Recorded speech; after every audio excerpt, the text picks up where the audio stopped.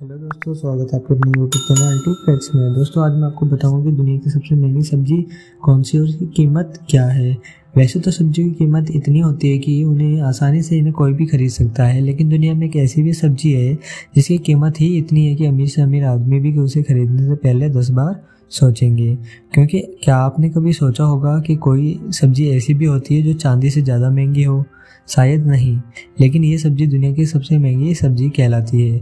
जी हाँ जिस सब्ज़ी का जायका लेने के लिए आपको पूरे बयासी हज़ार रुपये खर्च करने पड़ेंगे, और इस अनोखी सब्ज़ी का नाम है हॉप सूट्स और इस हरी सब्ज़ी की कीमत हज़ार यूरो, यानी कि बयासी हज़ार रुपये प्रति किलो है। हॉप सूट्स के नाम की इस सब्ज़ी का फूल भी लोगों को काफ़ी अच्छा लगता है। इसे हॉप कॉर्नस कहते हैं। इसके फूल का इस्तेमाल बियर बनाने में किया जाता है, जबकि बाकी टहनियों को खाने के तौर पर इस्तेमाल किया जाता है। इस सब्ज़ी में औषधीय गुण का भंडार होता है, जिसका इस्तेमाल एंटीबायोटिक दवाइयों के लिए भी किया जाता है। बताते चले कि इस सब्ज़ी की दांत के दर्द और टीबी जैसी गंभीर बीमारी का इलाज के लिए फ़ायदेमंद होता है। इसे लोग कच्चा भी खाते हैं, लेकिन ये बहुत कड़वी होती है, इसलिए इसकी टहनियों का इस्तेमाल सलाद के तौर पर किया जाता है।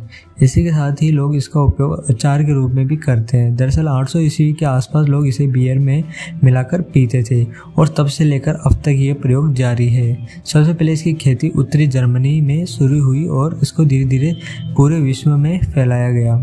दोस्तों, अगर आपको वीडियो अच्छी लगी तो वीडियो को लाइक करना और चैनल पर नए तो चैनल को सब्सक्राइब ज़रूर करना।